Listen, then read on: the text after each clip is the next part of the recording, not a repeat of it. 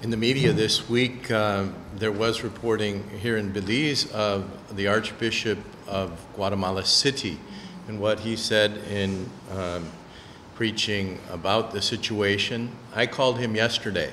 Uh, I know Archbishop uh, Oscar Julio Vian.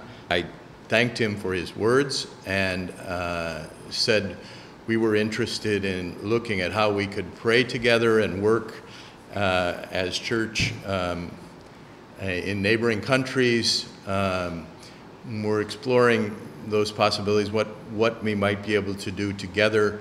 Uh, but since it hasn't been um, set yet, I don't, I don't want to make any uh, announcement further than that, other than we are in dialogue.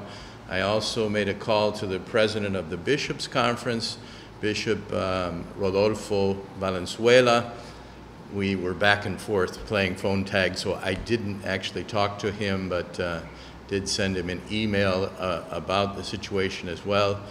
Another of the bishops over there that I do know, and um, so we're already in dialogue. I, I, know Bishop Wright, Philip Wright, has also uh, sent uh, communication to his counterpart in the Anglican Church there in, in Guatemala. So there's, there's some ongoing dialogue on what we can do, how can, how can we work together, both to pray for peace and, and, and to build stronger relationships be, between the peoples of our countries.